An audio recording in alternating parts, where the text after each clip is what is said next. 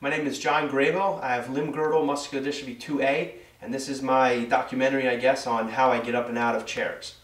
All right, so one of the things I do is, because um, getting up and out of chairs is very difficult for me, is I also like to make sure that the table width, the table height is, is, uh, is not too low, because if it's too low I can't get up. So a good indicator is, you know, if I lean up, if I'm standing up against something, if my tip of my fingers can touch the table, then I know I can pretty much get up. If it's, if it's too low, I know it's going to be too hot, too hard.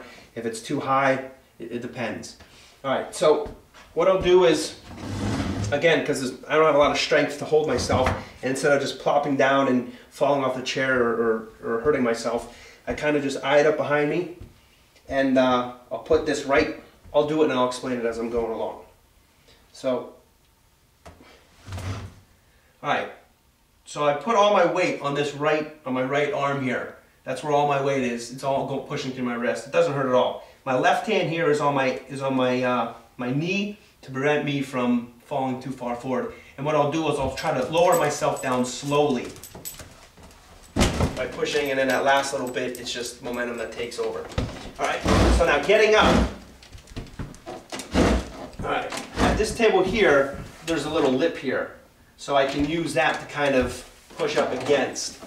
And I'll show you when that's not there how, to, how I get up as well. So what I'll do is push underneath here, hold underneath here to kind of pull me up. Same time, just pushing the chair out of the way so that I don't fall into it. So now I rest, you know, all my weight obviously on my forearms, and then uh, make sure my hand is not slippery. If it's if, it, if it's uh, very dry, uh, then I can slip on it. So I'll try to get some perspiration on it or something so it's a little bit sticky. And then I'll just shift weight again and just push right through the wrist. So now all, my whole weight is all just push right on this weight on this right wrist. And then just work this hand over. Again, shifting weight. It's all about shifting weight because I don't have enough strength to push. So it's just shifting weight from left to right, kind of like going up a ladder. And then I'll just move it back.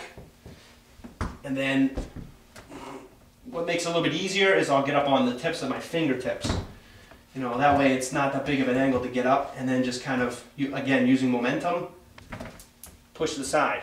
Now, I mean, I, I, can't, I can't just push straight up. I don't have the lower back strength to do it. So it's a lot easier for me just to push weight either the left side or the right side. I just choose the right side because I just grown accustomed to doing it that way. Just put the weight on the right side and then just stand up. I don't have to hold on to anything because my the distance between my two legs is not that very far, like when I was going up the stairs. So that's how I get up out of the chair. So if you guys want to see more videos of this, you can go to my website at www.beyondlabelslimitations.com. Thanks.